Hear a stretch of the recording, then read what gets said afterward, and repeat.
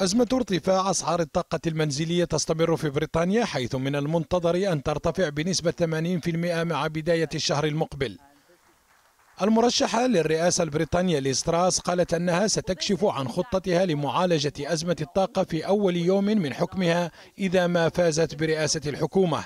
وزير المالية البريطاني ناظم الزهاوي رحب بقرار نظرائه في مجموعة الدول السبع بوضع خطة لتحديد سقف سعر الطاقة. We have just agreed the oil price cap.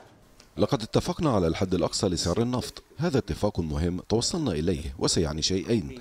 الأول أن الرئيس الروسي فلاديمير بوتين لا يستطيع أن يستغل أسعار النفط المرتفعة بشكل مفرط. وثانيا يمكننا التأكد من أننا نحمي أنفسنا من صدمات أسعار النفط في عام 2023 وما بعده.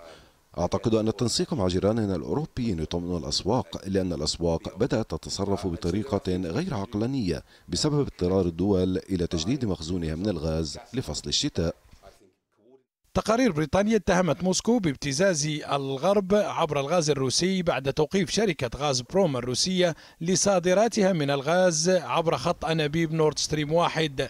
فيما عللت الشركة الروسية الأمر بخلل تقني أدى إلى تسريب في محطة التصدير.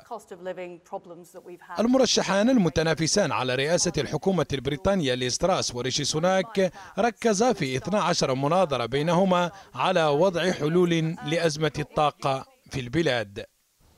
تعهدت المرشحة الأوفر حظا للفوز برئاسة الوزراء البريطانية ليستراس أنها في حال فوزها ستقوم بوضع خطة محكمة للحد من استمرار ارتفاع أسعار الطاقة المنزلية في المملكة المتحدة.